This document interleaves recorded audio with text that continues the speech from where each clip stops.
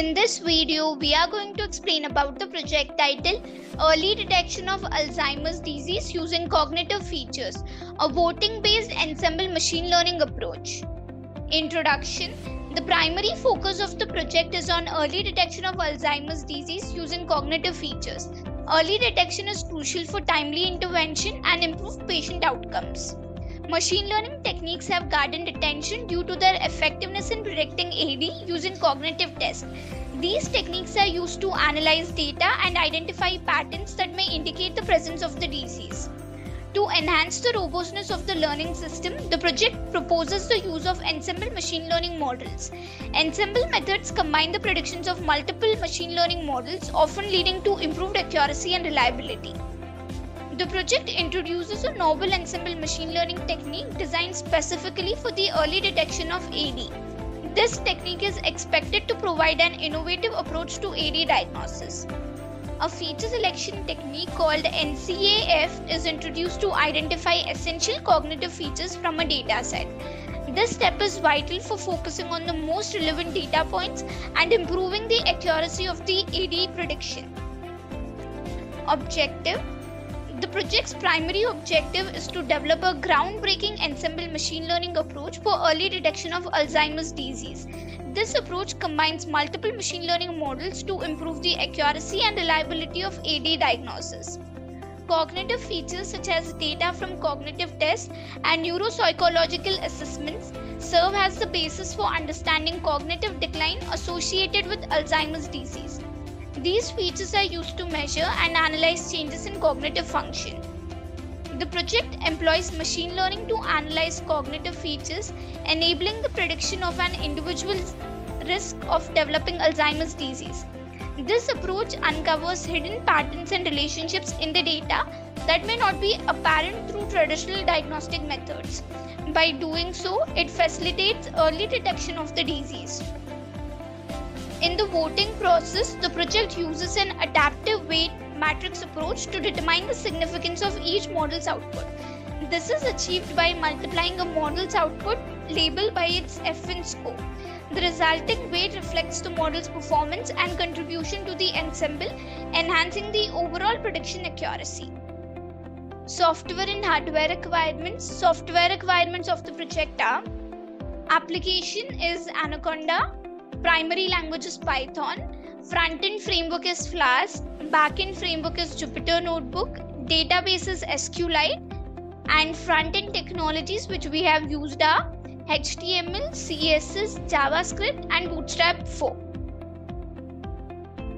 Hardware requirements of the project are operating system of Windows, processor of i5 and above, RAM of 8 GB and above, hard disk of 25 GB and above. Working modules of flow of work. To implement this project, we have designed the following modules. The first module is importing the packages. In this initial step, the project imports necessary Python packages or libraries. These packages provide various functions and tools needed for data analysis and machine learning. Commonly used packages include NumPy, Pandas, sklearn, matplotlib, and Seaborn. Exploring the dataset, AD dataset. This phase involves obtaining and gaining an understanding of the Alzheimer's disease AD dataset. The dataset likely contains relevant data on cognitive features, patient information, and disease labels.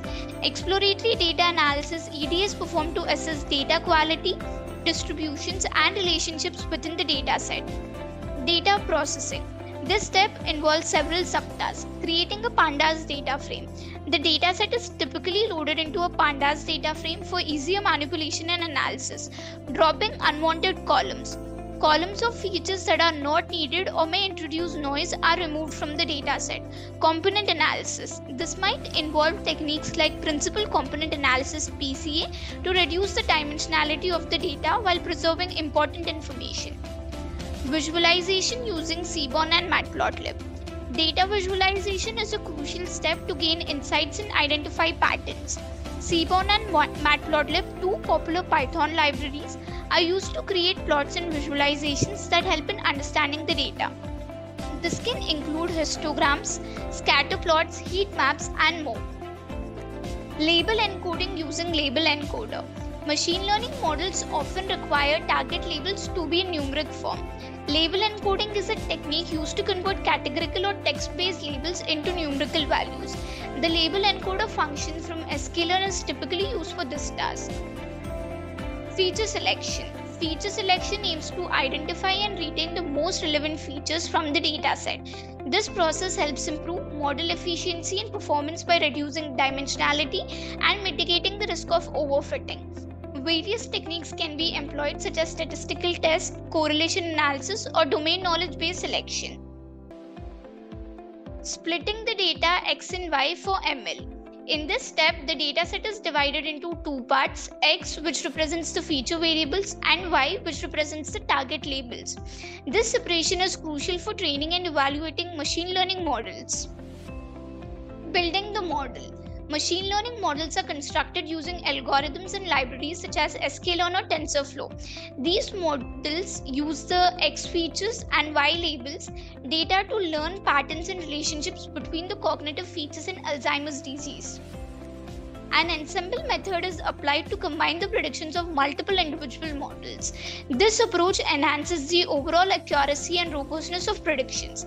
In the context of the project, it's a voting based ensemble technique that leverages several models to make a final, more reliable prediction. Training and building the model. The machine learning models are trained on the dataset, which means they adjust their internal parameters to better fit the data.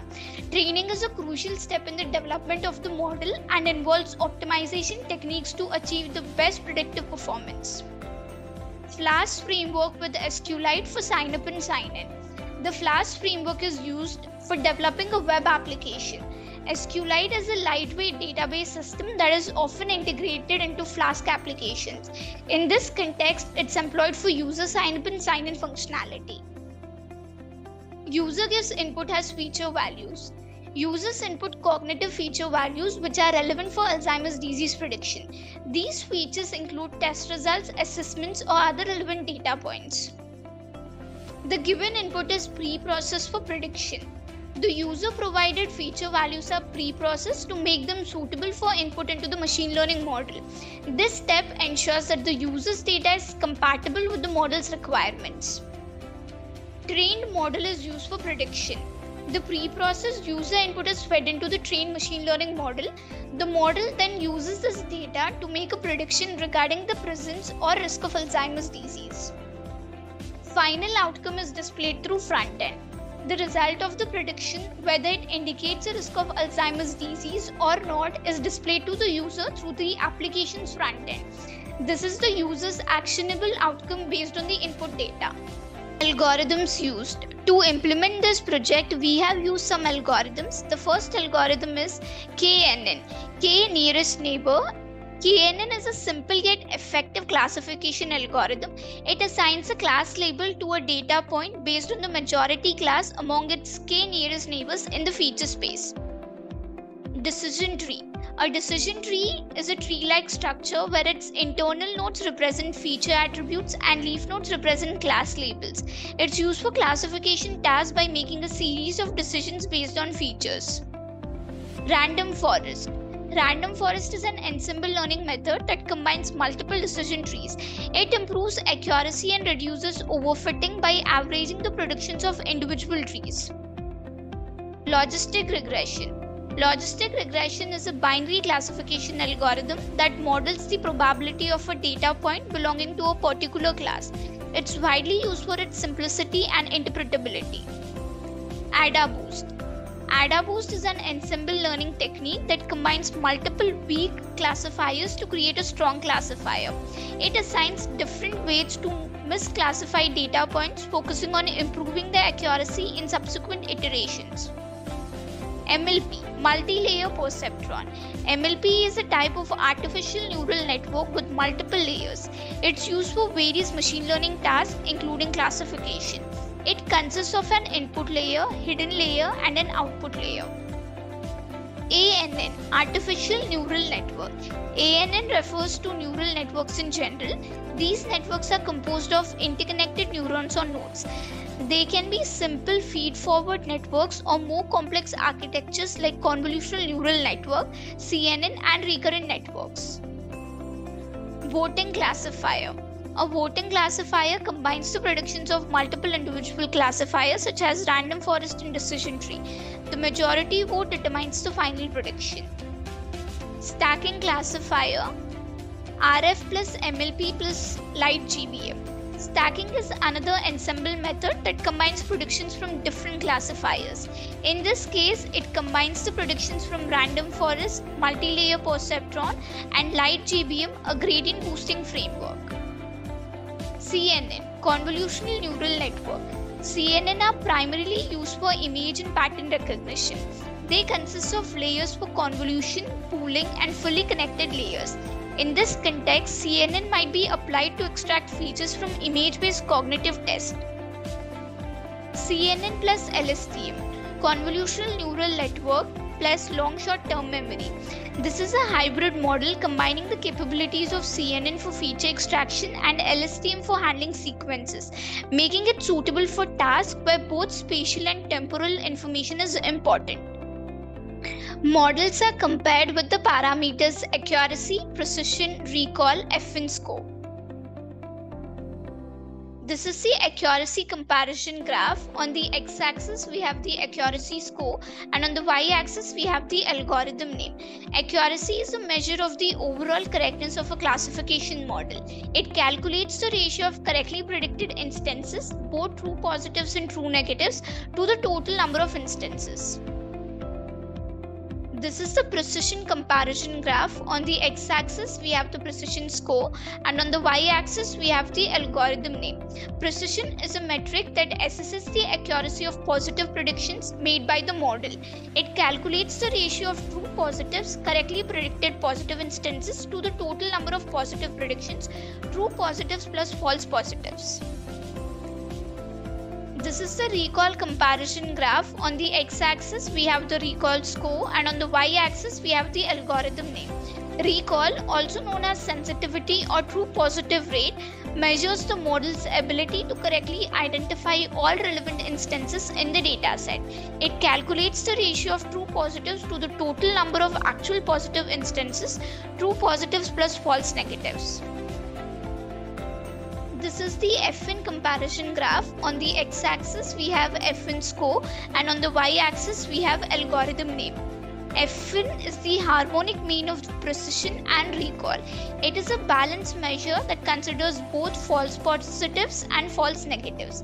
It is calculated as 2 times the product of precision and recall divided by the sum of precision and recall. It provides a single metric that balances precision and recall, making it useful when we want to consider both false positives and false negatives in the evaluation execution. To execute this project, first we need to open the code folder which contains the project source code files. This is the code folder. This is the static folder. This folder consists of files related to CSS, JavaScript and Bootstrap files. This is the templates folder. This folder contains all the HTML pages used in the project. It typically includes files like index.html, about.html, etc., which represent different pages of the website. This is app.py file. This .py file contains the information related to front-end logic. It includes code written in Python that handles server-side operations such as processing user requests, interacting with the database, and generating dynamic content to be rendered in the HTML templates this is these are model files which contain algorithm information which will be loaded into the project code during runtime. This is notebook.ipynb file. This is a Jupyter notebook file which contains a combination of code, graphs, and outputs all in one place. It allows users to write and execute code in individual cells, making it a popular choice for data science. This is signup.db file. This file is the database file used to store user information. First, we will copy the path of the code folder from the address bar of the file explorer. I am copying the path. Open the Anaconda prompt.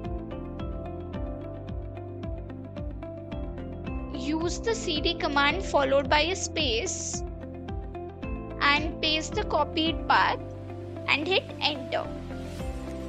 This command is used to change the current directory to the code folder's path. Compile the app.py file using the command python space app.py. Here I'm typing python space app.py and hit enter.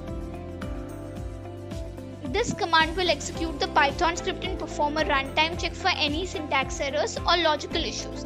After running the app.py file, the Flask framework will host the application locally at the default address, which is this localhost and port. Now copy this local link provided by the Flask framework. I'm copying the link and paste this copied link into any web browser. I usually prefer Google Chrome and hit enter. This is the homepage of the project displayed in the browser. This is the front end built using Flask framework. If we are a new user, we need to register first. So click on sign up button. Here we need to enter all these details to register. But I have already registered. So click on sign in. Here we need to enter the username and the password which we have created and then click on sign in. I have logged in successfully. So here we need to enter all these parameters to predict whether the person is having Alzheimer's disease or not. So I'm entering the parameters. Visit is 1. Visit is the number of patient visits or appointments for cognitive assessments. MR delay is the time gap between MRI scans which is relevant for tracking changes in brain structure. So here MR delay is 0 and here we need to choose a gender whether that whether the person is male or female. So here the person is male and hand we need to choose the handedness indicating if a person is right handed, left handed or ambidextrous. So here the person is right handed so I'm selecting right. And here we need to enter the age of the person. So here the age of the person is 87 and the education of the person which is 14 here and we need to enter the SES which is socio-economic status a measure of economic and social factors so here SES is 2 and MMSE is the mini mental state examinations course assessing cognitive functions like memory, which is 27. And CDR is the clinical dementia rating, a scale to assess the severity of dementia, is 0. And ETIV is the estimated total intracranial volume, measuring total brain volume, is 1987 and NWBV is normalized whole brain volume quantifying brain tissue volume relative to head size is 0.696 and ASF which is atrophy scaling factor a measure of brain atrophy in imaging data is 0.883 after entering all these parameters, click on predict. So here we can see we got the result. The patient is diagnosed with non-Alzheimer's disease, non-demented. It means the person is not having Alzheimer's disease. We will enter another set of parameters and check whether that person is having Alzheimer's disease or not. So I'm entering the parameters of one more person So here I have entered parameters of one more person. Now click on predict. Here we can see we got the result. The patient is diagnosed with Alzheimer's disease, demented. It means the person is having the Alzheimer's disease. In this way, by entering all the parameters, we can predict whether the person is having Alzheimer's disease or not.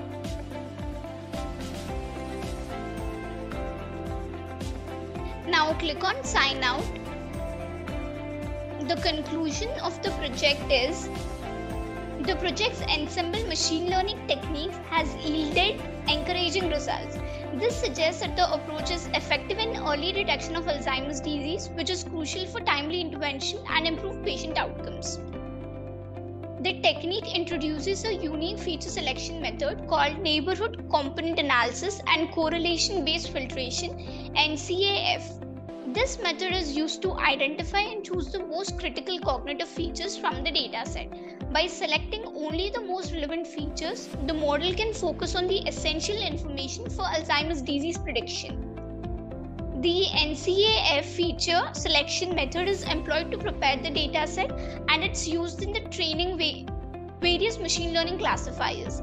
These classifiers learn from the data to make predictions about Alzheimer's disease based on the selected cognitive features.